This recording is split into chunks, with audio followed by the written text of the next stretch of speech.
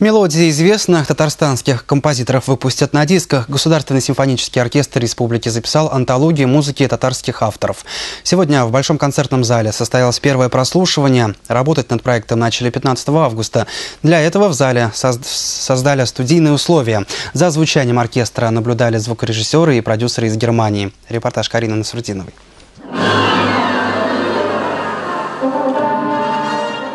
Музыку четырех поколений авторов объединили на трех дисках Жиганов, Сайдашев, Ахиярова и другие известные татарстанские композиторы. Девять дней оркестр работал в усиленном режиме, репетировали с утра до вечера, чтобы в итоге получить около четырех часов музыки.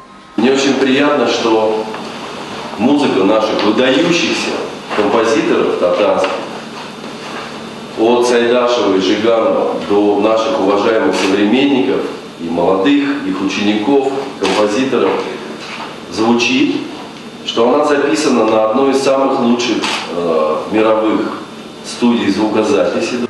К работе над проектом музыканты приступили в середине августа. На время записи в концертном зале создали студийные условия. Музыку записывали на 43 микрофона, их рассредоточили по сцене. Все оборудование специально привезли из Берлина. Оттуда же приехал и продюсер, лауреат Грэмми Филипп Недель. Позже он продолжил работу над антологией на родине. Столько вложено сил оркестром, дирижером для того, чтобы создать вот то, что мы сегодня слышим.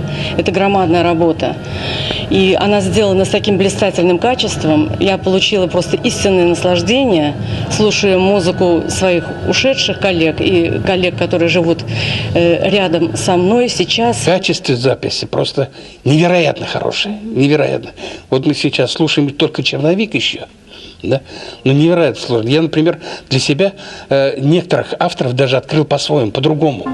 Итог – три диска. Первый с музыкой ушедших из жизни композиторов, на другом – произведение исключительно прекрасной половины человечества, на третьем – современные авторы. Антология – некоммерческий проект. Альбома нельзя будет купить. Их подарят гостям Казани в дни универсиады. Также диски с татарской музыкой станут визитной карточкой оркестра на зарубежных гастролях. Презентация альбомов намечена на 23 января будущего года. Карина Насрудинова, Айрат Каюмов, Вести Татарстан.